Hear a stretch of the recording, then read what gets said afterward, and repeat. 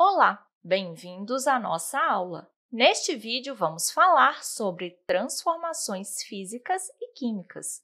Temos aqui três imagens diferentes de substâncias passando por algum tipo de mudança.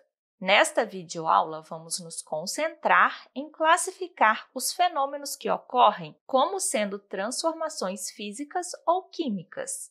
Quando falamos sobre uma transformação física, nos referimos a situações em que pode haver uma mudança nas propriedades da substância, mas não temos uma mudança na composição dela. Enquanto em uma transformação química, você realmente tem uma mudança na composição.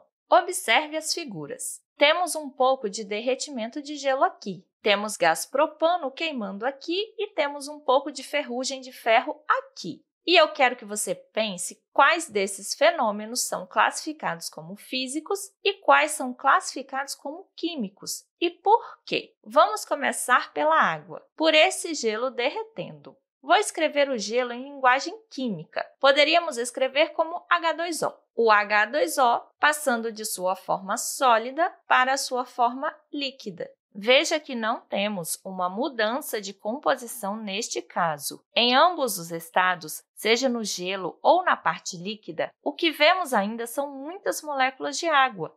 Cada hidrogênio ainda está ligado a dois oxigênios. Não houve mudança na composição da água. Por isso, isso aqui é uma transformação física. E se continuássemos aquecendo a água e ela começasse a vaporizar, isso também seria uma transformação física. Considerando o vapor d'água, ainda temos uma transformação física. Nesse caso, as forças intermoleculares foram superadas, mas as ligações covalentes entre o hidrogênio e os oxigênios não estão se quebrando nem se religando de alguma forma. Então, mais uma vez, quando você vai do gelo para a água, você tem uma transformação física. E da água para o vapor, também temos uma transformação física. Uma regra geral que nem sempre se aplica ao nível microscópico é que quando as forças intermoleculares tendem a ser superadas, isso geralmente é uma transformação física. Mas, se ligações químicas estiverem se formando ou se rompendo, isso seria uma transformação química.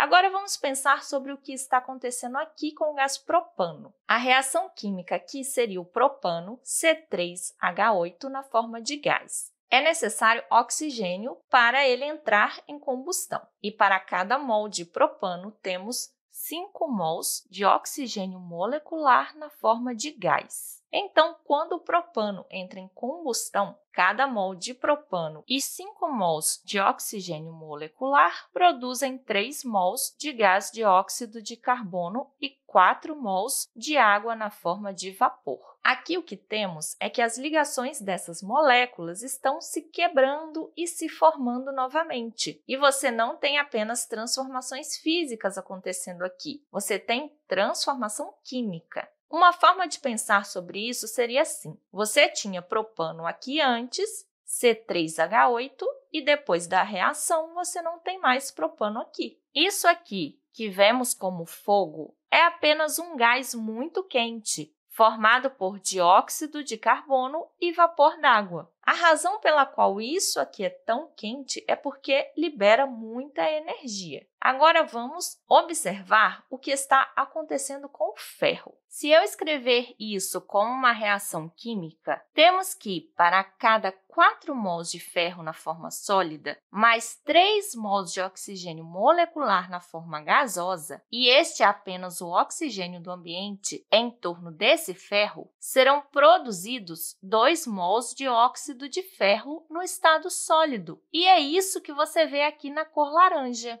Esse é o óxido de ferro. Observe que essa reação está formando novas ligações iônicas no óxido ferroso. E para passar pela reação, tivemos que quebrar as ligações metálicas do ferro sólido e as ligações covalentes do oxigênio molecular. Portanto, sempre que estamos rompendo e fazendo essas ligações químicas, temos uma transformação química. Mas e quanto à dissolução do cloreto de sódio ou do sal de cozinha. Você tem NaCl na forma sólida e, quando coloca na água, obtém cloreto de sódio na forma aquosa. Bem, o cloreto de sódio na forma sólida forma uma rede porque existem ligações iônicas. Os elétrons permanecem no cloro e o tornam um íon cloreto, que é negativo. O sódio perde elétron e se torna um íon positivo. E assim, esses íons são atraídos uns pelos outros e podem formar uma estrutura de rede tridimensional quando está na forma sólida. Mas quando você dissolve o cloreto de sódio na água, os íons se dividem e você obtém os íons que se dissolvem e que se separam na água. E assim, as próprias ligações iônicas estão sendo quebradas. Você poderia dizer que os íons constituintes estão apenas sendo separados. Então, talvez seja uma transformação física